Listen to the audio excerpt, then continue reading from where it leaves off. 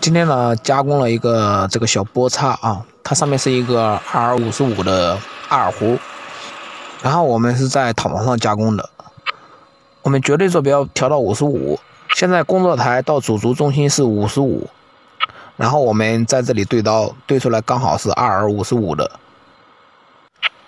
然后对的这个精准度啊，就看你对刀对的怎么样了。我们先把中心高调高一点，然后开始躺第一刀出躺。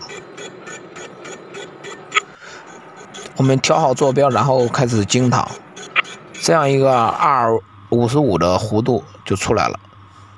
因为在我们躺床上面，它这个不是特别好测量。然后它中间还有一个二十宽的一个槽，也是二五十五的。我们在刚才躺了二五五十五基础上，然后开始对这个切槽刀。这样一个 R 五十五的弧形就做出来了。然后呢，也就是说一下这个简易对刀的一个方法吧。